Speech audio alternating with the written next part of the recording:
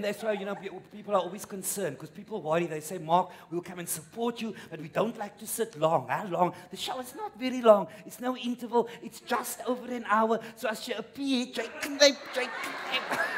I love watching people knyp, especially women. They even balance it. They, they're like, like, oh, yeah,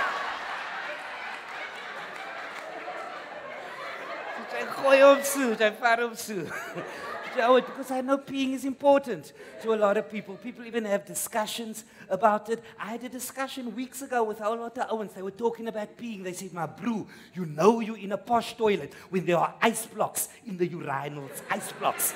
The guys know about the ice blocks. Some guys, they get stupid. and they even try to melt it. Like, "Ah, yeah."